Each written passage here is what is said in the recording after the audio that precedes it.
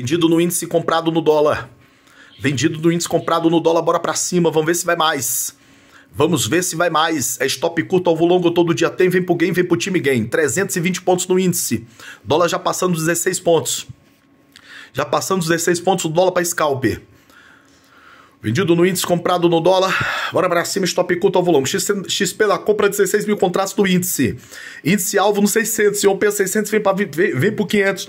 20 mil contratos 20 mil contratos de venda do índice. Vamos ver se eles vão zerar o dólar e jogar o dólar lá por 19. Comprado no dólar, vendido no índice 9 e 3 da 9 e 2 da manhã já estamos com beta batida. Comprado no dólar, vendido no índice aqui na Stop Curto Alvo Longo. Já é hora de desligar o computador e ir pra rua.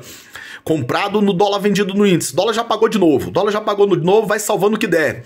Índice se perdeu o ajuste, acabou.